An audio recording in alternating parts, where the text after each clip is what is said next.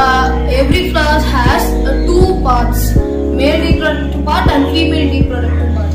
The female reproductive part in this flower is the pistil. This is called as the pistil. And the male reproductive part is the anther.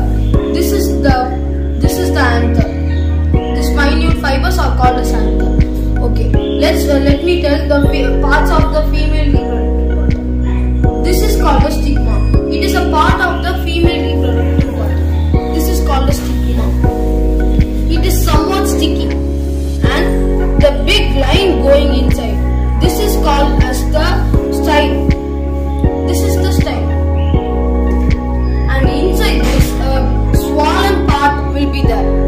is called as ovary.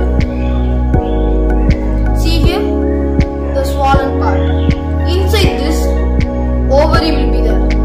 And inside that ovary, ovules that are small eggs that reproduce that reproduce and make a new plant. Okay, let me tell the male reproductive parts.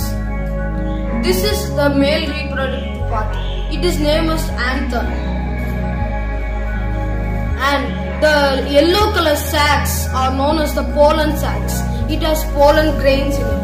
And the, and the line which is holding the pollen sac is known as the filament. It is a part of the male reproductive part. These are the colorful parts of a flower known as petals. And these are the green color parts known as sepals.